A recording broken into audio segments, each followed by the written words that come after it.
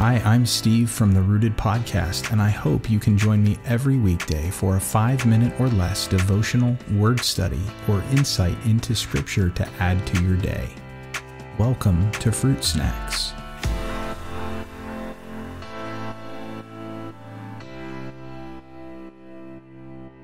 Hey everyone. In today's episode of Fruit Snacks, we're going to do a word study and maybe more like an anti word study. and I'll explain what I mean. So, I saw on YouTube a few weeks ago a video being made as a reaction to something that a prominent worship leader in a very well known church and band said during a worship session uh, at their church. And what she said was and she was quoting Zephaniah chapter 3, verse 17, which in and of itself is a pretty obscure passage. I don't think most of us would know what that says off the top of our head. Now, the statement that was made by this worship leader during worship was that one of the Hebrew words in this verse means literally to twirl around in circles.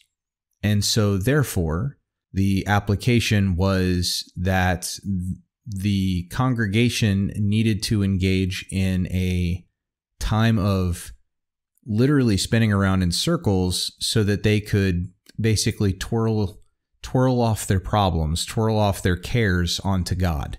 And I know that you may be thinking right now that well, she's cuckoo for cocoa puffs, right? That that obviously can't be what what that term means or or something has been grossly mistranslated or taken out of context. Well, actually, what's really interesting is that she actually is technically correct. The Hebrew word for rejoice in the middle of this verse does have a connotation to it where it can mean to spin around basically under the influence of a strong emotion. So she's not completely wrong when she said it means to twirl around. It can mean that.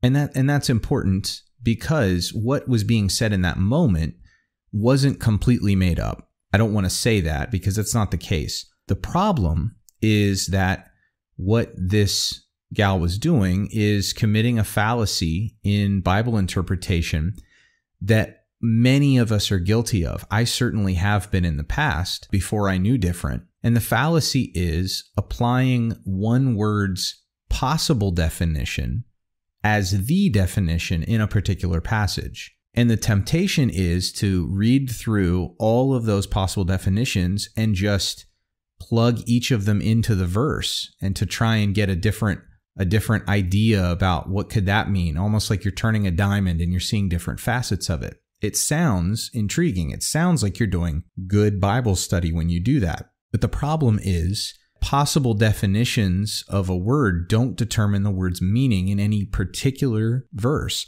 Context is what determines meaning, not your favorite possible definition.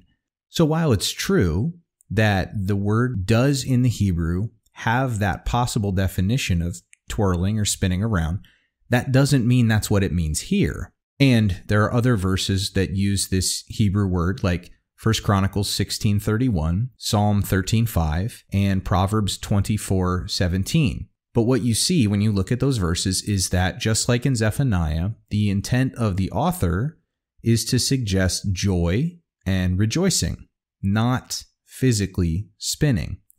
People may jump up and down when they're really excited, but it would be a mistake to suggest that the English word excited means to jump up and down. It's the same thing here.